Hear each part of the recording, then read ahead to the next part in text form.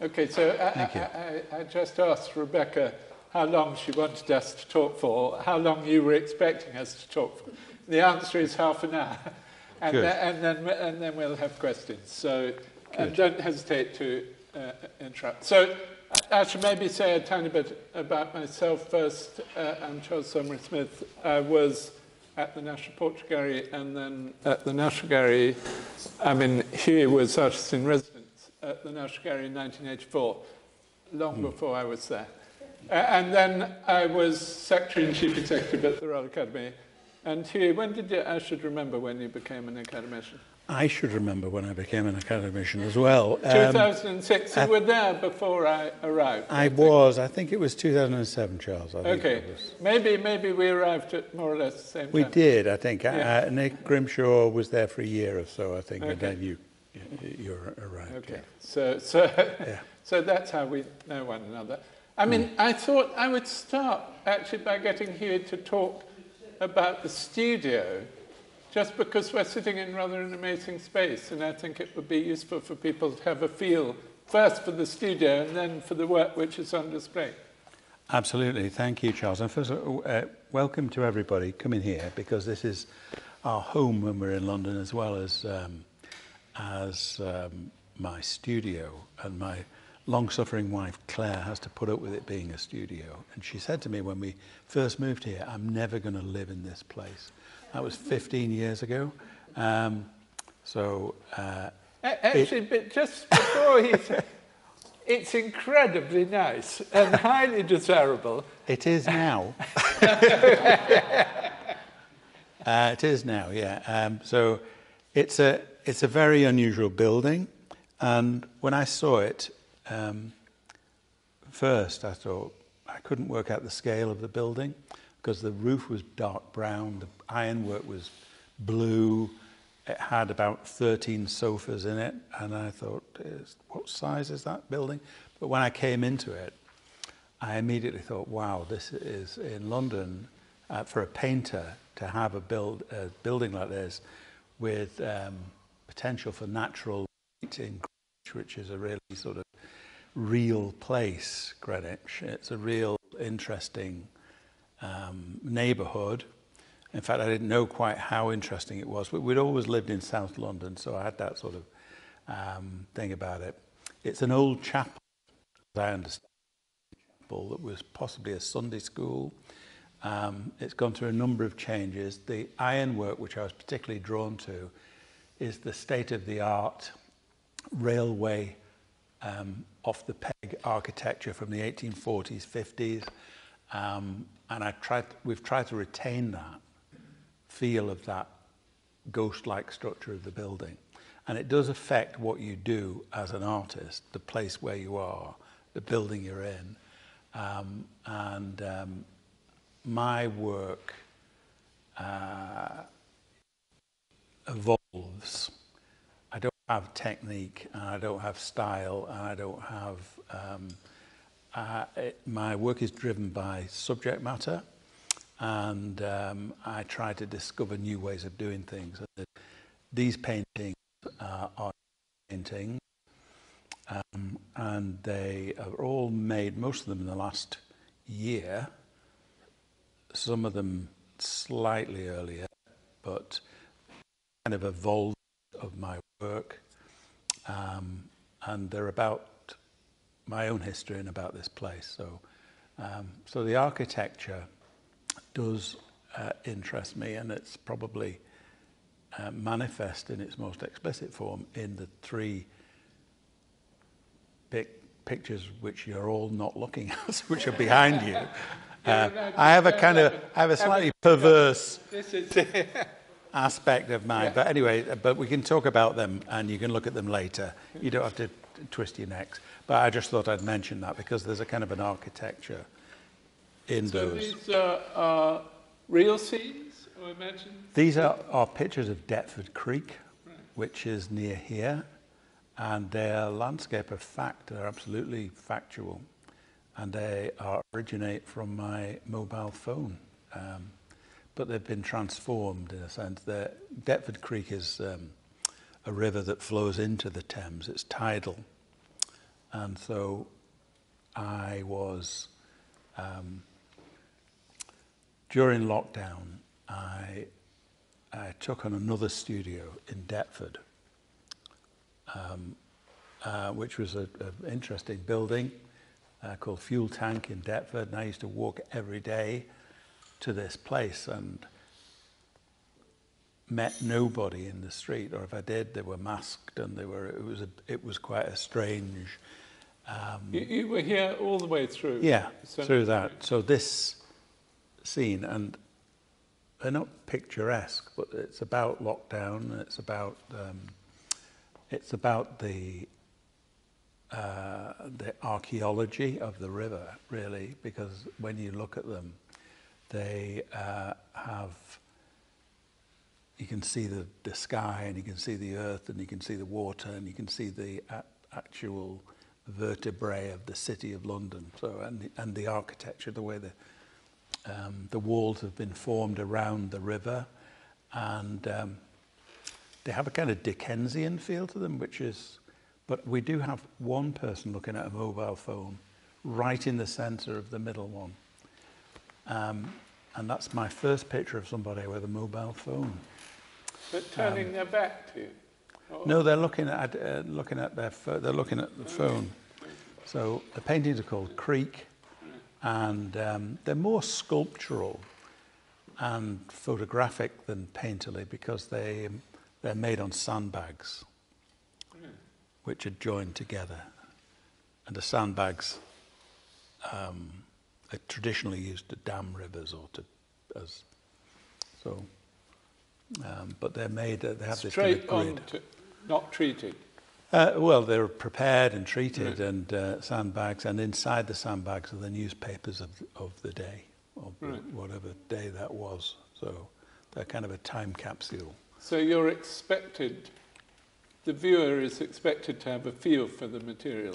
It- Well, um, the viewer is expected to, is ho- it's always hoped that the viewer connects with something um, in a way. And, uh, you know, sometimes the van delivery guys come in here and or women and say, oh, I like that. That's interesting. And um, it's, it's very much about this place, which is Deptford, uh, Greenwich. But, but uh, I yeah. can now ask you, Yeah. because, I mean, in, in preparing for this, I've now found out a lot about TUI, which I didn't previously know. Between All um, good, I hope, Charles. Yeah. 70, you, you went to, you were at Leeds. You- did you do painting at Leeds? I didn't know. I didn't. I trained as a teacher originally. Okay. At um, and then you had like 10 years doing painting? um, well, I was painting all the time. Right. Um, I, But sa- were you teaching as well? I was a teacher for These, six, these six are years. Missing years. So, Well, so six years. I was a full-time teacher, and I didn't. I didn't get.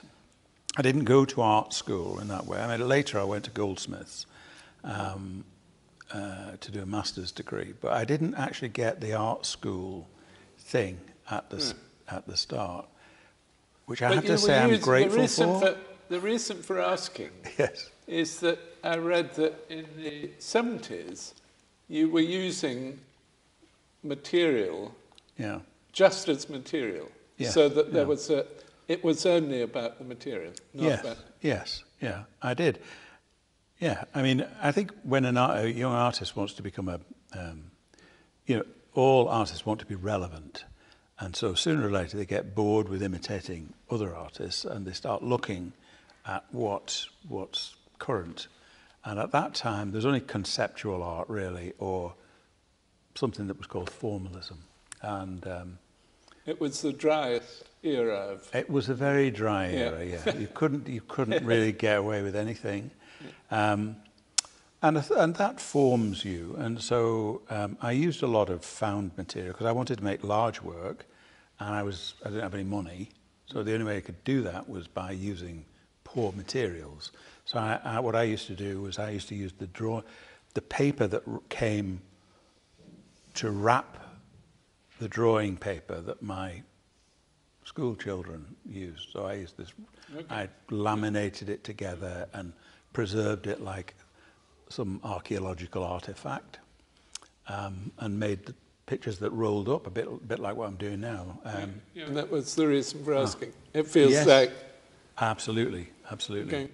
That was the that was an initial thing, and so there's a there's a kind of revisitation of that. Um, most people probably know my my large scale oil paintings on a on a fixed canvas, Yeah. which are hugely difficult to move around. They're very d- easily damaged. That you know, so there was a kind of liberation to to the use use of these will be in your Material. show at Marlborough, these three will be yeah unframed. unframed yeah. So, so the materiality and the Yeah. yeah. They're kind of a sculptural thing. But, Uh, but this feels like a. I mean, maybe, maybe it is an effect of lockdown. It feels like a departure because Yeah. they are realistic. They're, Yes, they're, yeah. They're not exactly landscapes because they're. Well, it's a, it's a departure. It's the landscape of fact, but it's obviously it's been changed. Yeah. And uh, the sandbags is. Sandbags were never designed to have paintings made on them. So it, you you present yourself with a problem, and um, in a way, that something uh, about them that is a bit like a suit of armor or you know a jade princess from ancient China or whatever. It's about it's about segments of an image.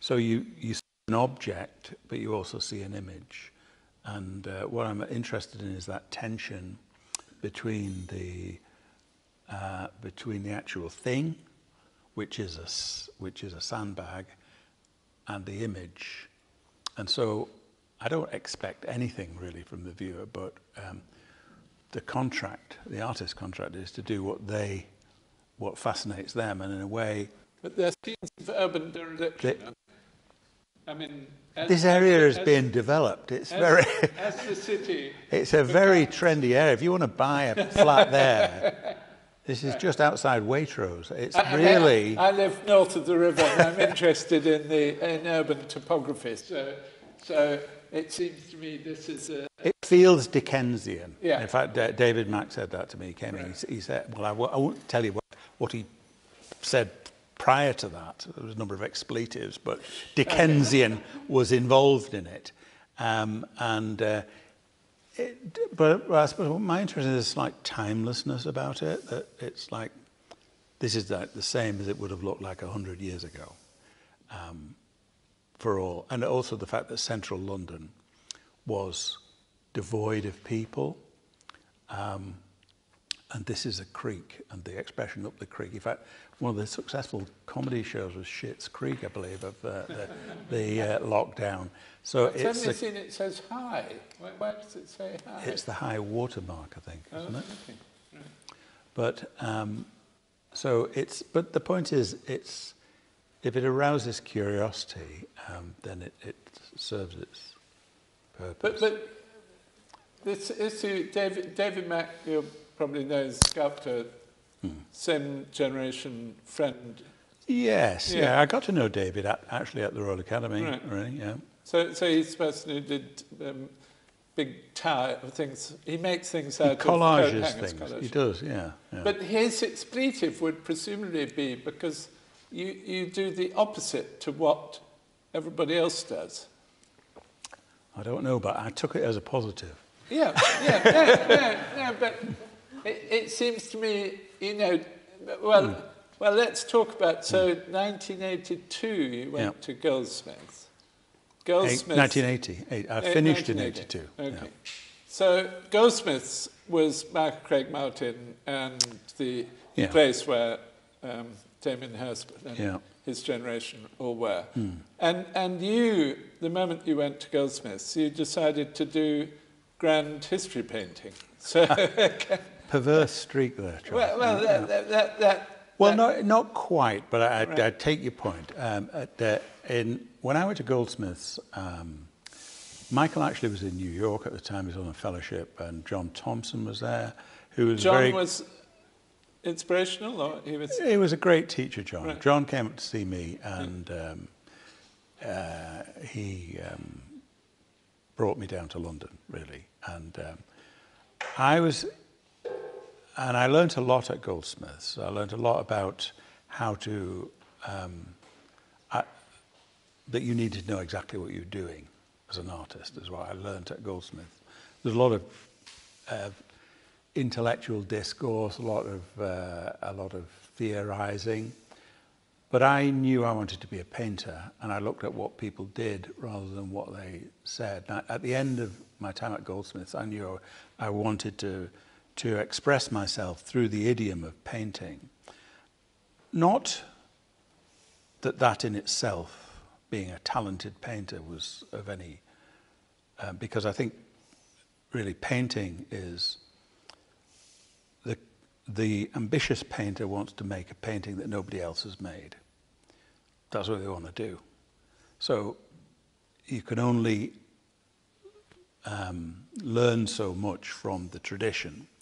But after leaving Goldsmiths, what was catalytic was in 1984, I was appointed artist in residence at the National Gallery. You were and the part second? of the brief.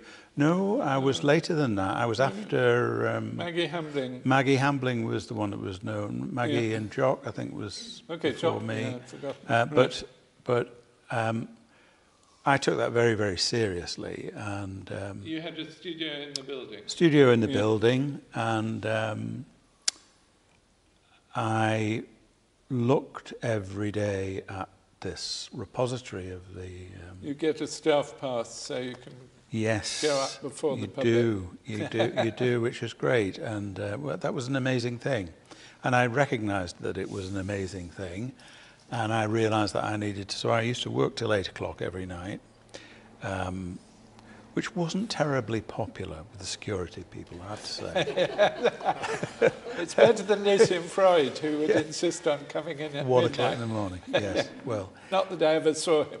I was never there. That was his. Uh, well, yes. So it was. No, it was. That was an amazing thing, and I suppose that was catalyst in Right. my um, development as an artist. And I suppose I developed an interest, particularly at the National Gallery in Titian, in late Titian. Um, because there was the what the Venetian exhibition, which had the Venetian exhibition was, was at the RA. It was actually yeah. at the RA. Yeah.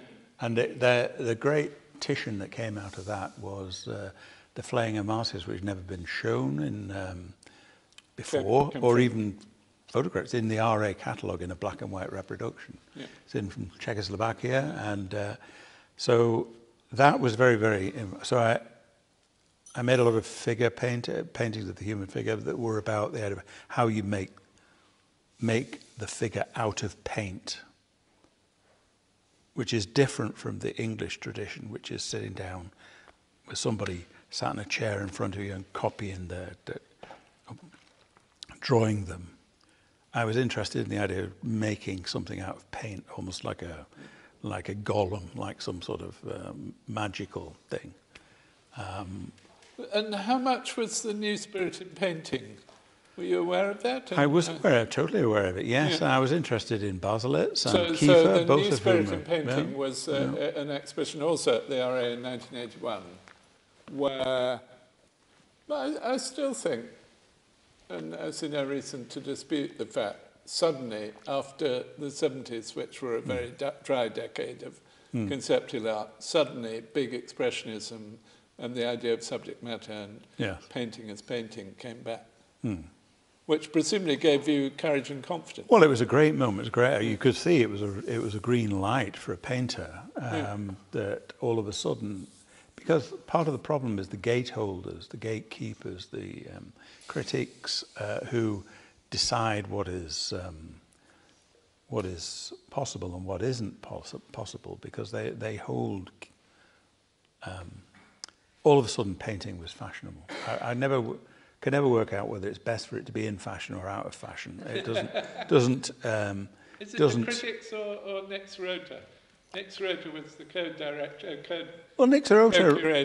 Nick Serota uh, used to uh, um, run the Whitechapel Open Exhibition, Yeah. and my work was selected for that and given pride of place. So I don't think Nick Serota was was anti-painting, and I think no, he, but uh, I think he had mean a particular eye he- actually. If yeah. you're, if you're talking about how is it that things go in fashion and out of fashion, Hmm.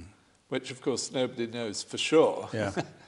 Yeah. My view would be it isn't really the critics, because the critics are just responding. They write every week according to what's on display. Yeah. So that the key individuals in making decisions as to Yeah. what should be on display, uh, uh, I, don't include myself, I never felt I had that power, but, but uh, um, New Spirit in Painting was Nick Serota and Norman Yes. Rosenthal getting Yeah. together and saying there's a movement which we should show and represent. Yes. Well, I think I think certain people hold levers Yeah. that are very very powerful levers, and they can do that. And I think other people then follow, and you get you get uh, a following. And all of a sudden, in early 1980, somebody decided that painting was okay, and uh, that it, it wasn't. It was uh, wasn't okay, a was crime any longer. It was the central activity. Practice. Yes, yes. And so it became possible to be a painter. Um, and that, I think I was very fortunate in a way that that coincided with my um, emergence from um, Goldsmiths and what have you, and what have you. And so I, um, I grasped that with um, with two hands. But what I didn't grasp was the overriding sense that everything had to be ironic, that everything was a joke. Uh, that was true of architecture. I don't think that was true of painting. I think mean, it was true of painting. The big German painters. Well, it's not true. Well, well, exactly. I think the key word there is German. Yeah. Anselm Kiefer is a Yeah. great artist. Yeah. Um, And he's not ironic. He's Uh, about, no, he isn't ironic. but they, they actually accused him of being ironic at the start. Okay. Right. Uh, a lot of the discourse around it was that he was ironic. He reinvented um, subject matter in painting almost single-handedly. And then, Yeah. and then the traffic lights somehow changed Yes. in about 1990. And I Hmm. don't know what your view is of the. Yeah, I think that's true. Uh, that's absolutely true. And f- the problem is, as an artist, you can't deal with fashion. Um, that's just fashion. Um, all of a sudden, you know, the fashion is changing now. You know, all of a sudden, you know, you might be deemed to be out of fashion or in fashion or what have you. But that's So you just carry on fairly. what. What else could you could you do really, realistically? So. and Uh, but when you talk a bit about, um, and then it's quite soon, I realise I'm going to ask everybody Hmm. else to ask questions. So, so when were you taken on by Marlborough? Um, I moved to Marlborough from. You were with Purdy Hicks? I was were with Purdy Hicks. I left Yeah. Purdy Hicks. I was with James Yeah. Hyman for three Right. years, and then I moved Right. to Marlborough. I can't quite remember when that was. I think it was 2000 and. I don't know. I've done, I've done three shows or four shows with Okay. Marlborough, so I've been there so, for so, a while. So there isn't a sense where the Gary, a Gary, has supported you all the way through. Uh, definitely not. Yeah. And, and, and actually, I mean, I could go on asking you questions, but uh, I'm going to be true to what I said at the beginning, get other people to ask you. When, when you say a bit about Ireland, Yes. and you spend half, normally spend half the year in Ireland, I do, yes. And um, yeah, I suppose some of the imagery in the, the, the main imagery, the ship, in the painting, um, I saw uh, it, first in 1962. Um, it's on a little island called Inisheer, um, the small island just off the coast of Galway. Um, and uh, I saw it in August 1962, and it had only just been wrecked then. And I've gone back to it. So it's kind of a, amongst many other things, it's an emblem of identity. Because I was taken there by my father, uh, who'd seen the documentary Man of Arran by, um, it's one of the, well, it's often cited as the first documentary with uh, Nanook of the North. It's not really a documentary, it's a kind of, um, it's a sort of an imaginative film about life on this, this remote islands. And uh, my father took us there because um, he'd been he'd excited about this, and it was a very magical journey. And so it probably, in a very powerful way, connected me with Ireland. And so the, the, the ship is a symbol of that. And it was wrecked there in 62. It's still there. Then it was a kind of a large black and white ship.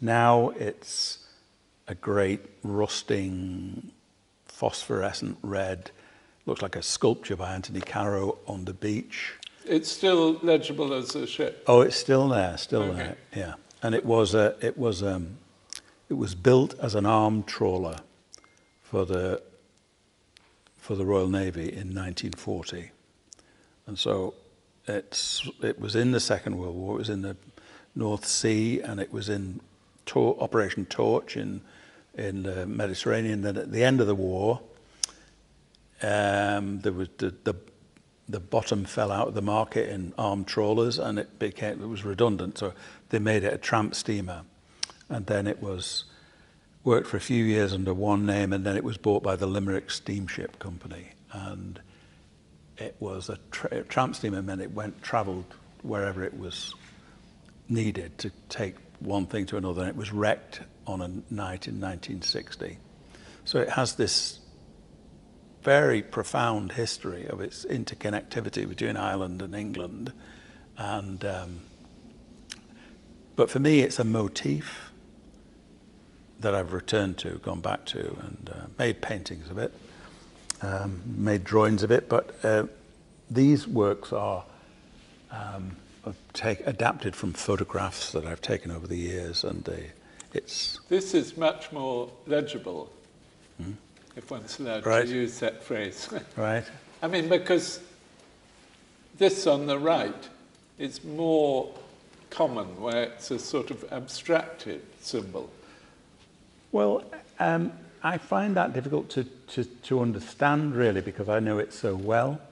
Um, that the symbol of the ship, the kind of leviathan that's sort of towering over you, it's kind of slightly has all sorts of overtones. It's a bit like a medieval visor or helmet of a. It's, it has some of its military um, history is still there.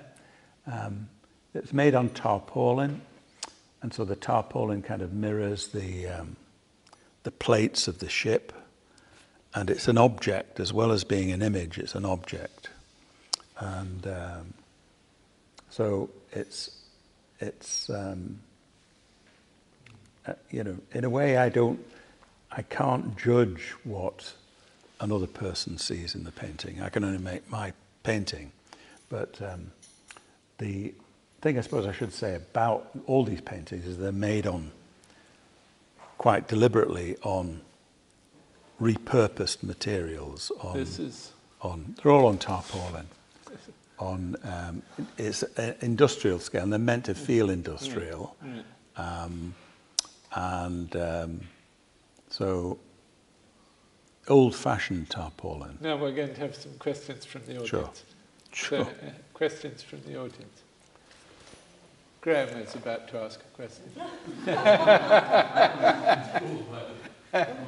Well, I'll ask a question. Yeah, Um, Thank as you. an artist who's always been known as a sort of a very painterly painter, you know, using lots of impasto Yeah. and quite abstracted Okay. images, is it difficult, um, both artistically and also in terms of worrying about how people will, will respond, to start incorporating photographs in paintings hmm. and then actually getting to the point where with the three behind us they are hmm. effectively more photograph in hmm. some ways than painting. Um, I think you said, is it difficult? Yes, it's difficult. Um, but at the end of the day, an artist has to do what they want to do. Most, many artists get stuck in a in a repetitious cycle of repeating themselves, and they do things because they can do them. and because the art market encourages that. That's yes, that's a terrible trap. Um, so I take it as very, um, it's a brave thing to change what you do, particularly if what you've been doing earlier has been successful, and to change it to do something else. Um, so what I do is I try to do what excites me. And it doesn't always work. Some things that, uh, don't work out. But if you think about it, and I've thought a lot about photography. I mean, photography has been in painting for more than 200 years, but if you think about it,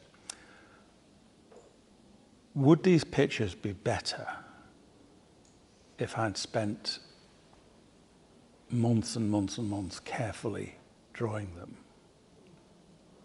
They wouldn't be better. In fact, they'd probably be worse because that art always goes by the quickest route, in my view. It's like water, it goes by the most direct route. And basically, what I'm saying is the recognition of something. We're all accustomed to reading photographic imagery, particularly younger people. They come in, they read it, and uh, people sometimes say silly things like, that must have taken you ages to do. Well, yeah, it did, but that's irrelevant. Um, what it is, is it's, a, it's an image, and I've separated the uh, process of, um, of making the image from the process of making the work of art. Um, so it, the, the works are driven by an idea rather than here is me demonstrating skill to you. I can do this, I can draw this, I can do that. Well, that's show off art I don't, I don't believe in. And um, so photography is here in a, in a, in a big way. What, what I'm looking at when I make a work of art is do, am I convinced by it? And I'm not always convinced by what I do. And I edit a lot of what I do. I try and edit um, work. Um, but I also try and do things that surprise me. So I, I, I try not to look over my shoulder and um, try to do what feels right. Yes. Okay. How difficult was it for you to retain your resolve in your interest in painting in the period in the 90s when supposedly painting was considered to be dead amongst people like Nick Serota, right. others who you know, there was this mm. very sort of mad wave of, of, conceptual art and interest in conceptual and installation art, and you retained your passion and determination to paint. And how hard was it to to stick with that in that uh, environment? Um, it just it is more difficult, but it is more difficult to be visible, I'd say. But it, it, my passion was not any um, diminished. Um, I mean, I first. You, you carried on selling. I, I did. That's a, that, that's a, but I that's did, not yes. an insignificant thing, in my no. view. That no. Purdy Hicks showed you, you, yes. you were still known Absolutely. as somebody who was a painter. Yeah. I've had very, very loyal and very good collectors, and that's been um, absolutely fantastic. And I've been able to survive, which is um, is an incredible thing, really, when you think about it, um, because you know I grew up in a working class housing estate in South Manchester. There's no tradition of you know being artists there.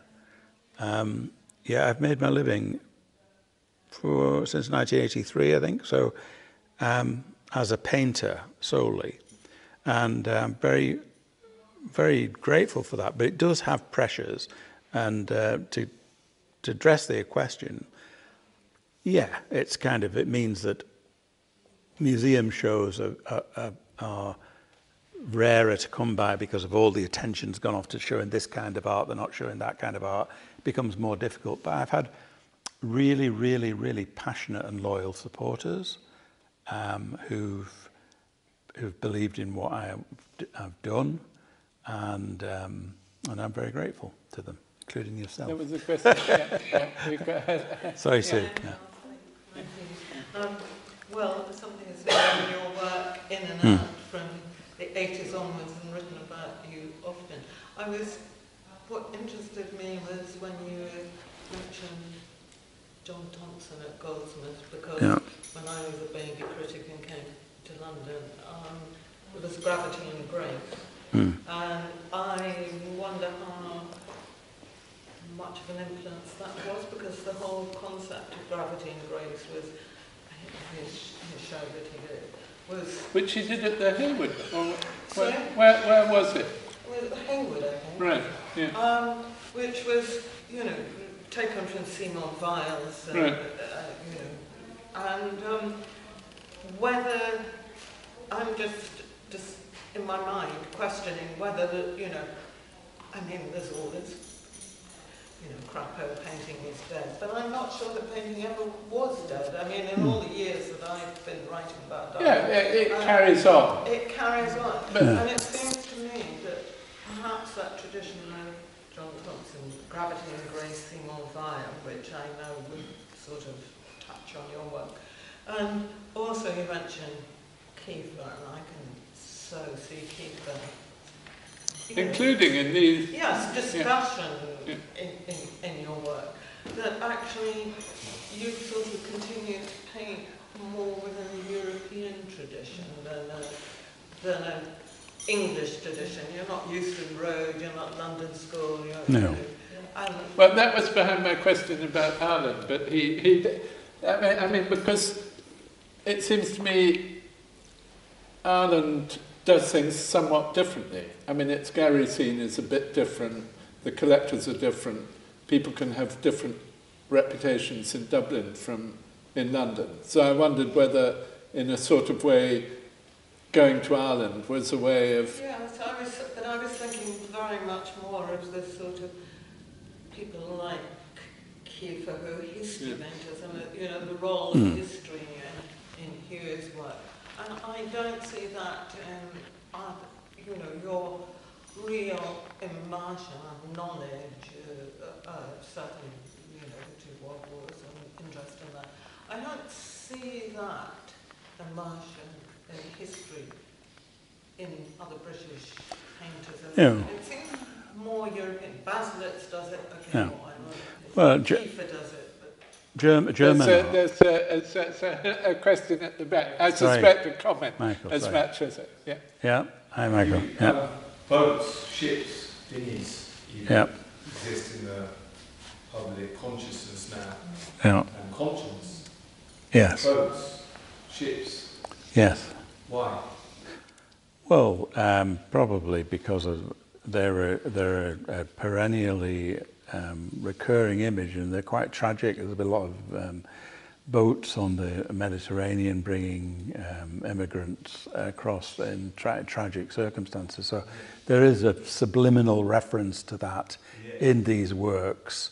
Um, I don't make those references obviously, but it's a wreck that's it's you know, you would not need to be a particular master mariner to work out that this ship is not seaworthy. Um, it's a wreck that's been, and and of course that is it's absolutely in the in the current um, um, memory. You know these these tragic images that of, of migrants and. Uh, but I've I've never addressed or rarely have I addressed things very directly in my work. It's subliminal. Um, in one way, it's just the Plassey. It's just, just what it is. But it's how I see the Plassey. It has a kind of, um, some of these pictures, it looks like you're, you're in the sea. you know, and the ship's heading away from you, and you, you know, you're adrift, and it's, um, and, and some of them are called adrift, some of them are called wake uh, Creek. A lot of the titles are quite sort of, um, you know, they're, they're about the human predicament. So there is that in it. I think, uh, Sue, your point about German art, I think the Germans had to really address, it's kind of curious, uh, the Second World War, and they have done. German art has really addressed Second World, hasn't addressed the First World War, curiously enough. no, that's true. But, but Kiefer certainly, you know, and Baselitz, but Yeah, but Kiefer definitely opened up that um, subject matter about the memory of uh, the collective memory of people. That's that's a subject I have the same. When I saw Kiefer's work in the early um, 80s, I understood that immediately. That what, what this was about was about this this this monster in the closet of every, every German born in that, you know that time who opens the closet finds their their parents. What were they doing? You know, where what were they what were they up to? You know. It's, Eric. Sorry. Two quick questions. Are Yeah. you drawn at all to teaching young people? Are you drawn to engage other people in the journey that you have started? Question one. Question two, have you ever been on the ship? Yes, is the answer to the second question. Yes, I've Did been on Did you it. go on those RA boating trips around the coast of Ireland with Norman Ackroyd? I nearly did. I nearly did. There's a did. slightly odd thing I only discovered that, that uh, every summer Norman Ackroyd takes a boat and He goes does. around the coast of West Ireland with a gang of. He does, he does, and uh, I, I nearly got there. Norman's a very good friend of mine, and I will, I'm sure I will get on on one of them. So the answer is yeah. Have I been on the Plassey? Yes. I was on it a number of times, only when it was wrecked.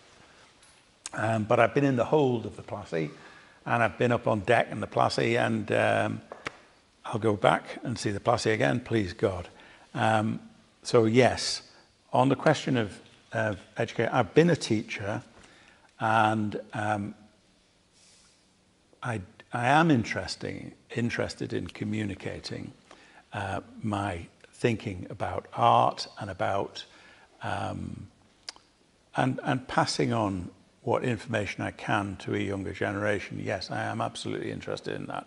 I tend not to, I do uh, talks and lectures on a re- fairly regular basis. Um, and uh, when I do, I tend to make them about something quite specific, specific idea.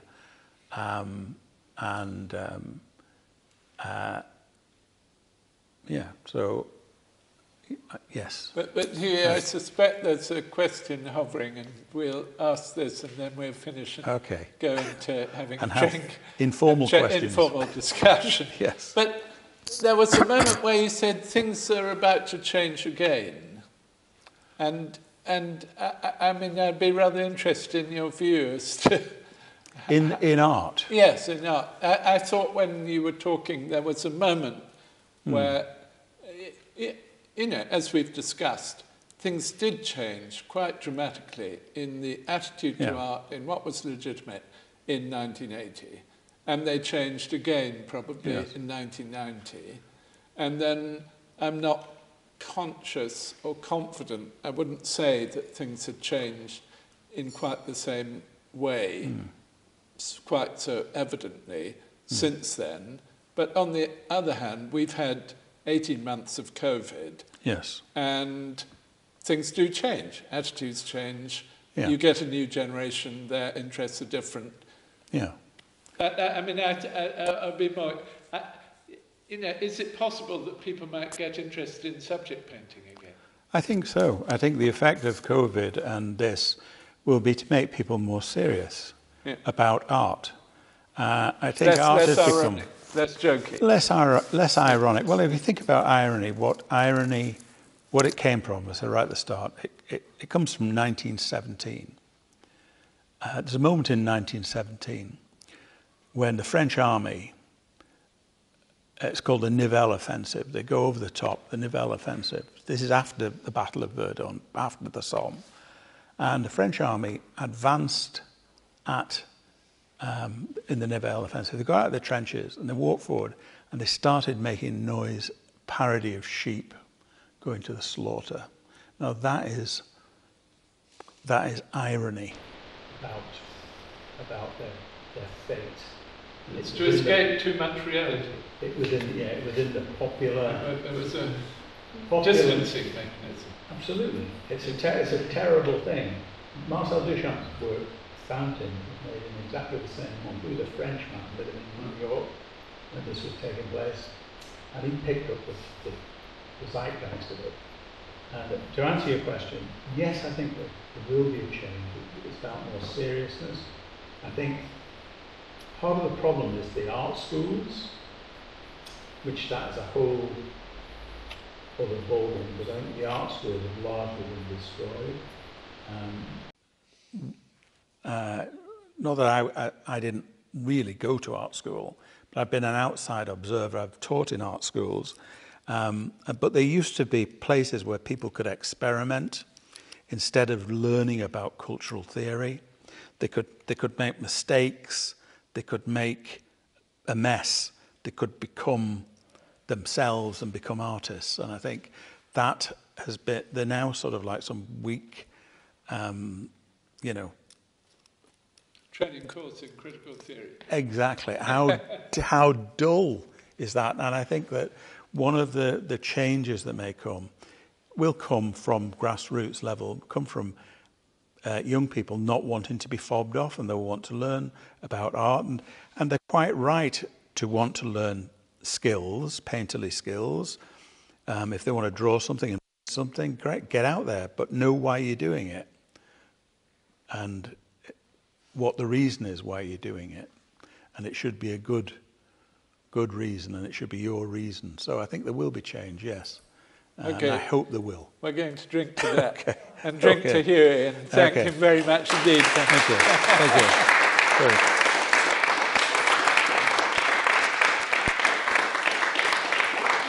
Sorry, the lights have only just gone on. The lights were going down and down. It's getting darker and darker.